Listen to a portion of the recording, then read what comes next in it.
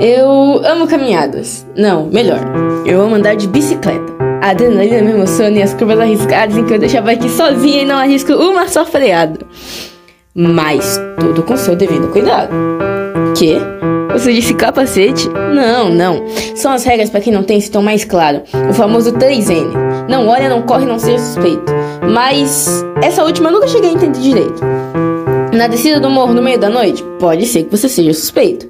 Mas almoço no domingo e no comprar pro seu primo, você ainda pode ser suspeito. Mas saindo da loja com o carro zerado, com sorriso alargado, nota fiscal na mão, sem documento pesado e a alegria ardendo no peito. É, não tem jeito, você continua sendo suspeito. Tá vendo? É por isso que o último N eu nunca cheguei a entender direito. Mas essas são só as primeiras que eu tive que aprender. Tem aquela que minha roupa talvez seja convite, que meu cabelo querem que alise, que a palavra mulata ficou em reprise, que quando eu casar é melhor que cozinhe, e que minha forma de amar. Uma mãe nunca explique. Eu amo andar de bicicleta, mas continuo com medo de quebrar alguma regra. E depois, quando forem falar de mim, de suas bocas sairá algo que eu já espero. Da composição de Chico Buarque, construção, primeiro verso. Amor daquela vez como se fosse a última.